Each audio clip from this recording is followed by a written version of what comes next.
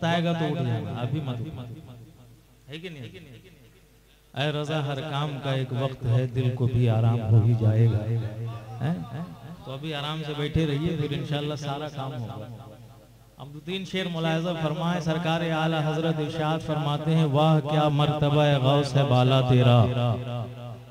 वाह क्या मर्तबा गौस है बाला तेरा। ऊँचे ऊंचों के सरों से कदम आला तेरा। ऊँचे ऊंचों के सरों से कदम आला तेरा, और क्या दबे जिस पे हिमायत का हो पंजा तेरा? क्या दबे जिस पे हिमायत का हो पंजा तेरा? शेर को खतरे में लाता नहीं कुत्ता तेरा। शेर को खतरे में लाता नहीं कुत्ता तेरा। और कहने वाले ने बड़े ही निराले कहा, हाफिज साहब। कहने वाले ने कहा कि ये नाज ये अंदाज हमारे नहीं होते। ये नाज ये अंदाज हमारे नहीं होते। या रसूल अल्लाह झोली में गर टुकड़े तुम्हारे नहीं होते। ये नाज ये अंदाज हमारे नहीं गोते। झोली में गर टुकड़े। तुम्हारे नहीं गोते। अब ये झोली और टुकड़े की बात आई।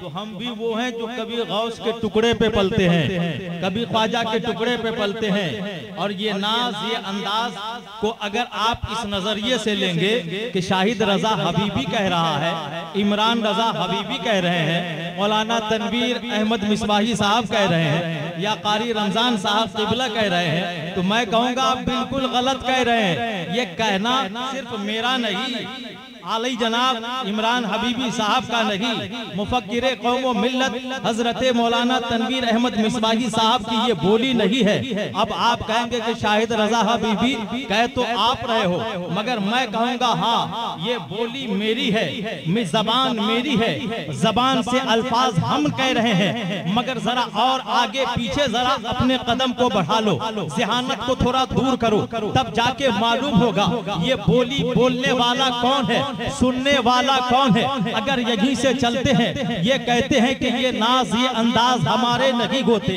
तो ये सिर्फ़ ये बोली हमारी नहीं। इमरान हनीफी साहब की भी यही बोली है। हाफिज हाफिज रमज़ान साहब की यही बोली है। कारी हाफिज रमज़ान साहब की यही बोली। हज़रत तनवीर आलम साहब की यही बोली। जलसे में जितने बड़े मुकर्र हों सबकी यही बोली। पूरे जमाने में पूछो कि आखिर ये बोली किसकी है? तो सब यही कहेंगे हाँ हाँ ये मैं भी कहता हूँ, मगर जमाने के लोगों से नहीं, और आओ दूर चलते हैं, बरेली की सरजमीन पे चलते हैं, बरेली की सरजमीन से जब सदा आती है, मैंने कहा कि ये नाज, ये अंदाज हमारे नहीं होते, झोली में गर टुकड़े तुम्हारे नहीं होते, वक्त का मुकर्री हो, वक्त का शायर हो, वक्त का आलिम हो, वक्त का मुफ्ती हो, वक्त का मुजद हो, वक्त का गौस हो, या वक्त का अब्दाल हो जितने बड़े ओहदे वाले वली हो या जितने बड़े आलिम दीन हो, हर एक के बारगाह में जाके ये आरिजा रखिए। इससे हम क्या समझे? सब यही कहेंगे, थोड़ा और दूर चले जाओ, तब बात समझ में आ जाएगी। अगर मेरी बात आपके समझ में आ रही है तो आप भी कह दें सुभान अल्लाह अगर आपके समझ में आ रही है तो आप भी कहें सुभान अल्लाह से तवज्जो चाहूँगा अगर मेरी गुफ्तगू समझ में आ रही है तो आप भी कह दे सुभान अल्लाह जब मैंने पूछना शुरू किया कि ये नाज, ये अंदाज हमारे नहीं होते, झोली में गट टुकड़े तुम्हारे नहीं होते, पहुँचा बरेली, पूछा सरकार ताजु शरीय से, कहा और आगे बढ़ जाओ, पहुँचा मुफ्ती आज़म हिंद के पास, कहा और आगे बढ़ जाओ, पहुँचा और आगे, गया हुजूर सरकार आला हज़रत की बारगाह में जरा आप ही बता दे, कहा और आगे बढ़ जाओ, जब आगे बढ़ता गया बढ़ता गया बढ़ता गया। तो शहनशाह के हिंदुस्तान ख्वाजा ए ख्वाजगा ख्वाजा गरीब नवाज़ की बारगाह में अरीजा किया। सरकार आप तो हिंदुस्तान के राजा हैं आप शहनशाहों के शहनशाह हैं। सरकार करम कीजिए और हमें इस शेर का मतलब समझाइए। जब मैंने कहा तो कहा और आगे बढ़ जाओ। बढ़ते बढ़ते ख्वाजा उस्मा हारूनी के पास पहुँचा। कहा और आगे बढ़ कितना आगे बढ़ा, इतना आगे बढ़ा, इतना आगे बढ़ा कि वलियों के वली, शहनशाहों के शहनशाह, पीरों के पीर, रोशन जमीर दस्तगीर दिले नूरानी, शहबाज लामकानी सैयदुना मोईउद्दीन अब्दुल कादिर जिलानी के पास पहुँचा। सब वलियों ने कहा कि ये नाज, ये अंदाज हमारे नहीं होते। झोली में कर टुकड़े तुम्हारे नहीं होते। वलियों ने सदा लगाई कि मुझे जो विलायत मिली है ये गौस के दर का टुकड़ा है। गौस के दर से जो टुकड़ा मिला है। मेरे हिस्से में विलायत आ गई है। मचल के बोले अल्लाह अकबर। अब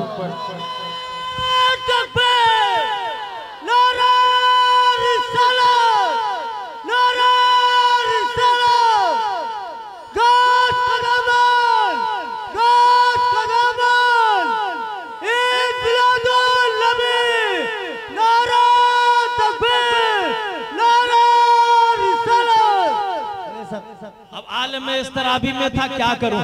तमाम वलियों को जो टुकड़ा मिला, वो गौस के दर का टुकड़ा था। मचल के बोलिए सुभान अल्लाह अल्लाह अल्लाह ये गौस के दर का टुकड़ा है। जब गौस के दर का टुकड़ा मिलता है तो अभी आपने सुना है ना कि चोर भी वली बन जाया करता है। अल्लाह अल्लाह, वो क्या गौस और किस महफिल में आप बैठे हो? प्यारे अब और आगे चलते हैं। ए गौस आज़म, ए कुतुब रब्बानी, ए शहबाज लामकानी, सबने तो यही कहा है कि जो मिला है गौस के दर से मिला है तो ये नाज, ये अंदाज हमारे नहीं होते। झोली में अगर टुकड़े, तुम्हारे नहीं होते। अब और आगे बढ़ते चलो, और आगे बढ़ते चलो। जब बढ़ोगे, अब मुख्तसर से लफ्जों में मैं यूँ कह दूँ, गौसे आज़म गौसे आज़म रज़ी अल्लाह ताला अन की बारगाह में बड़े ही बाअदब होकर मैंने अदब के साथ अरीजा पेश किया। ए पीरों के पीर रोशन जमीर, सबने आप तक पहुँचा दिया है। अब इससे मैं क्या समझू? ये नाज, ये अंदाज हमारे नहीं होते। छोली में गर टुकड़े तुम्हारे नहीं होते। ए गौसे आज़म आपको ये मर्तबा कैसे मिल गया है?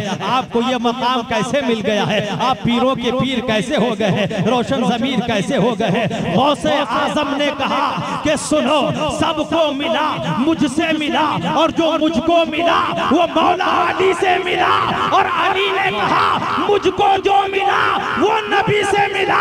यही तो कहते हैं हम कि सिद्दीक को सदाकत नबी के सदक़े में नबी के दर से, अली को अली को सखावत नबी के दर से, उमर को अदालत नबी के दर से, उस्मान गनी को सखावत और मौला अली को शुजात नबी के दर से।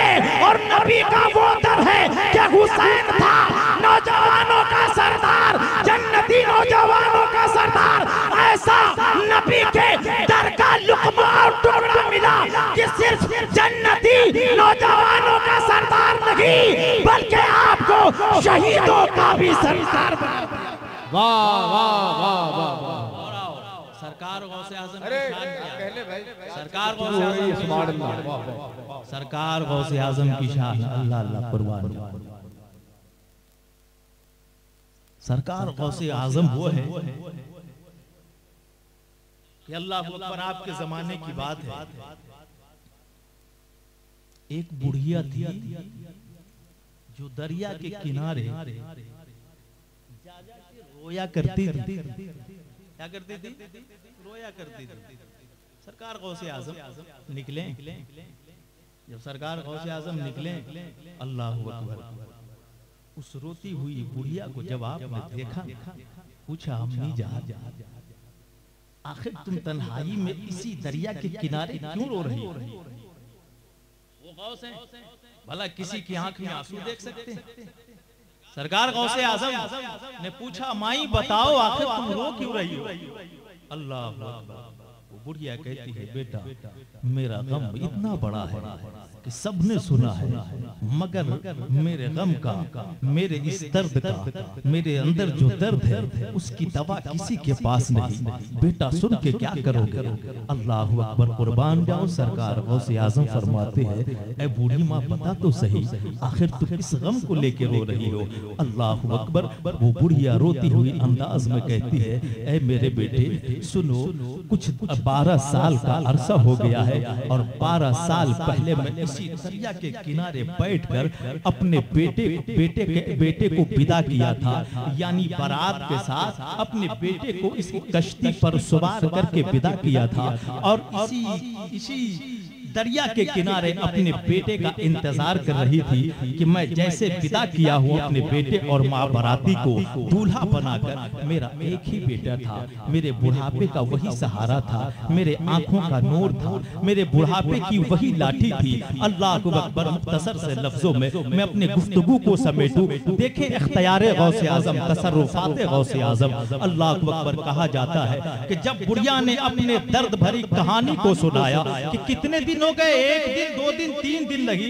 कहा कि बारह साल का अरसा गुजर गया है। यहाँ चालीस दिन में तो हड्डी बाहर, गोश्त बाहर, पेट फट के बाहर। कहा कि बारह साल का अरसा हो गया है। और जब जब इस दरिया के किनारे मैं आती हूँ, मैं अपने बेटे को जिस तरीके से विदा किया था ना दूल्हा बना के, आज भी मेरे आँखों के पुतलियों में उनके नक्श घूम रहे हैं, तस्वीरें बन के घूम रही है। अल्लाह अकबर कहा कि बुढ़िया बूढ़ी माँ, जरा ये तो बता। अगर तेरा बेटा लौट आए माँ बाराती के साथ, क्या तू रोना बंद कर देगी मचल के बोलो ना सुभान अल्लाह वो गौस है, नबी के लाडले हैं, हसनैन करीमैन की औलाद है। अल्लाह अकबर, वो नबी जो उम्मत की खातिर रात भर रोया करते थे, सजदे में जाकर रब की बारगाह में, रब्बे हबली उम्मती की सदाएँ लगाया करते थे।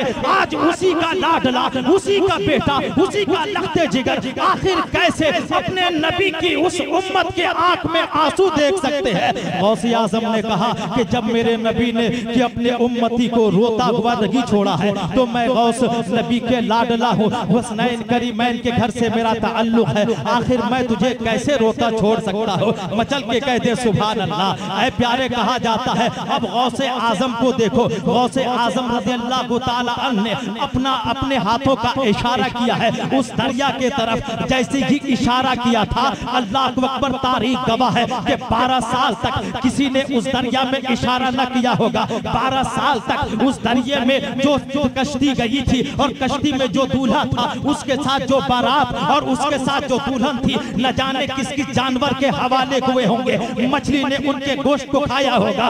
जानवर और जो भी दरी, जो भी उस पानी में जानवर रहे होंगे, सबने एक एक के चमड़े को अपने अपने हर एक ने अल्लाह हर एक उस जिस्म को छोड़ा ना होगा, मगर गौसे आज़म की तसर्रुफात पे कुर्बान जाओ। क्या ताकत अल्लाह ने गौसे आज़म को अता की है? जब नबी के उम्मत में सरकार गौसे आज़म है तो अल्लाह ने उनको इतना तसर्रुफात अता किया है। तो जरा सोचो, मेरा नबी काली कमली वाला वो नबी है जो तमाम नबियों का सरदार है। उनके तसर्रुफात का क्या कहना?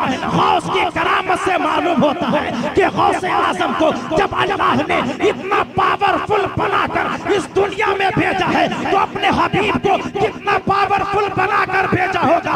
कहा जाता है कि अल्लाह अकबर बारह बरस के बाद गौसे आज़म ने अपने हाथों का इशारा किया तो बुढ़िया कहती है कि मैंने जिस तरीके से सजा कर अपने बेटे की रुखसती की थी, उसी तरीके से एक दरिया में मौज तारी हुआ, पानी में उबाल आया है और उबाल आने के बाद माँ बारात कश्ती के साथ अल्लाह अकबर वो दूल्हा और दुल्हन और माँ बाराती समंदर और दरियाओं के गहराइयों से बाहर निकल पड़ा।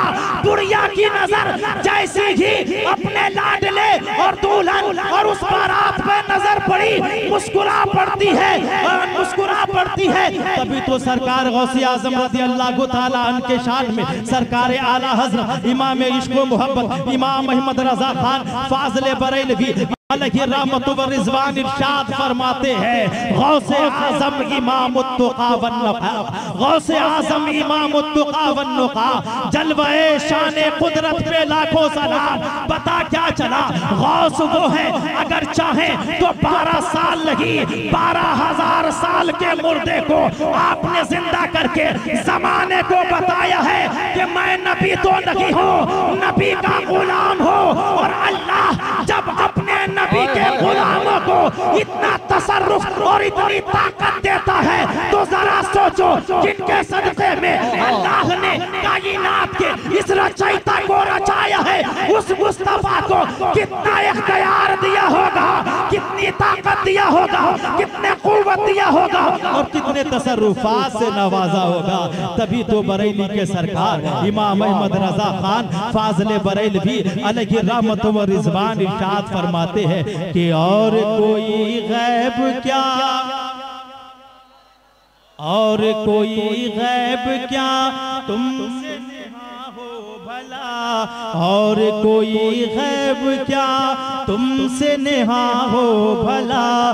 जब न खुदा ही छिपा, तुम पे करोड़ों दुरूद जब न खुदा ही छिपा तुम पे करोड़ों दुरूद। मचल के कहते हैं सुभान अल्लाह यहाँ पीछे वाले क्या सोच रहे हैं? कभी कभी आके भी सुभान अल्लाह कहते हैं ज़्यादा सवाब है। है। नहीं? सिर्फ़ बैठ ही के नहीं कभी आना जाना भी रहना चाहिए ताकि मुझे भी मालूम हो कि आप बेदार हैं। नहीं तो कब्रिस्तान में तो वैसे भी आपके जैसे सब लेटे रहते एक बार मचल के कह दें। एक बार और कह दें, या रसूल अल्लाह दो शेर शेर शेर मुलाहजा फरमा ले। कि बख्त खौफताने बख्त खौफताने मुझे रोज़े पे जाने न दिया। बख्त खौफताने देखिए मैं नाम किसी का नहीं लूँगा। इसलिए कि इलेक्शन करीब है। अगर नाम ले लिया तो आपका प्रचार हो जाएगा। तो कुछ लोग कहेंगे लग रहा है हज़रत से पहले मुसाफा हो गया था। तो इसलिए जिन जिन को अपना और जो हमें चाहते हैं हमें क्या मतलब ये है कि जो अपने आप को चाहते हैं वो यहाँ पे आकर मुलाकात कर ले। हाँ एक बार पेशगी कह दें। इतने कंजूस भाई नजराना न दीजिएगा सुबह अल्लाह तो कह दीजिए इधर वाले भी जरा कह रहे थके, थकाए तो नहीं है ना? बसे बस आए हैं तो फिर बोलिए अल्लाह कि बख्त खौफताने मुझे रोजा पे जाने न दिया। बख्त खौफताने कि बख्त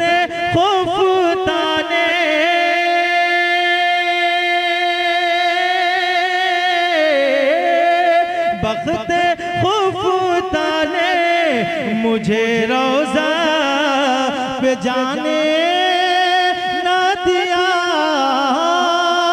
जाने न दिया। चश्मो दिल सीने, चश्मो दिल सीने, कलेजे से लगाने न दिया। चश्मो दिल सीने गले से लगाने न दिया जल्दी जल्दी आइए, दो ही शेर है। जल्दी जल्दी आइए। कि बख्त खौफताने मुझे रोज़े पे जाने दिया अभी तक तो मैं सबको पहचान रहा हूँ। वो भी आ जाए जिसे नहीं पहचानता हूँ। ये शेर मुलायजा फरमाए, पेशगी कहते हैं, या रसूल अल्लाह कि मेरे आमा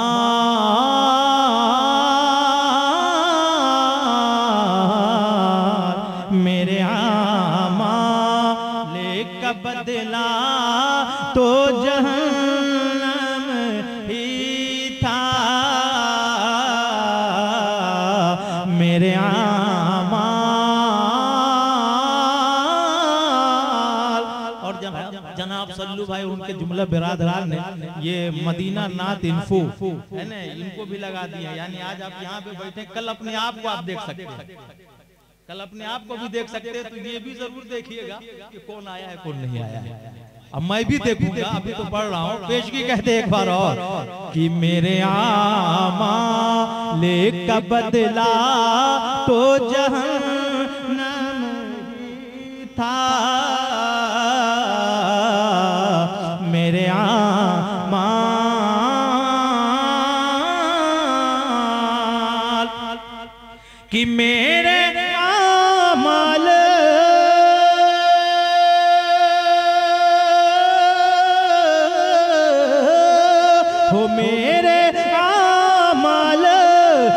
बदला तो जहन्नम ही था। तो जहन्नम ही था। मैं तो जाता, मैं तो जाता, मैं तो जाता, मैं तो जाता। मैं तो जाता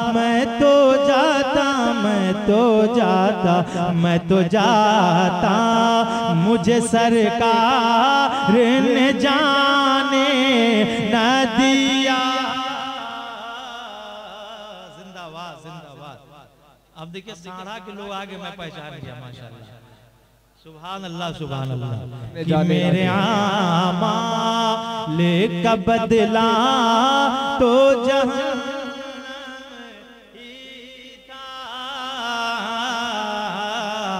आ जाएँगे इंशाल्लाह। आखिरी शेर मुलाजा फरमाए।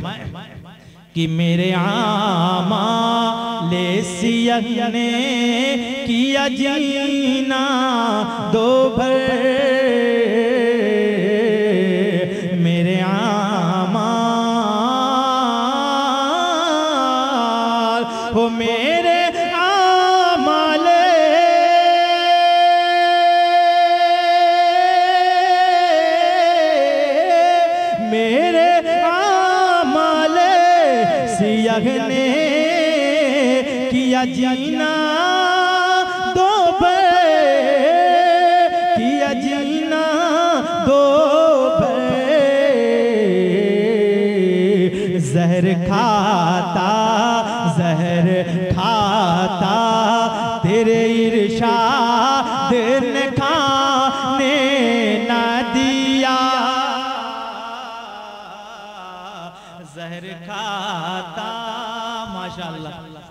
ये तेरे इरशाद ने खाने पूरे जलसे का एक ही बार देके चले गए। अल्लाह सलामत जी। दोबारा पढ़ दें। माशाल्लाह। एक बार कह दे सुभान अल्लाह कि मेरे आमा ले सियह ने किया जीना दो भर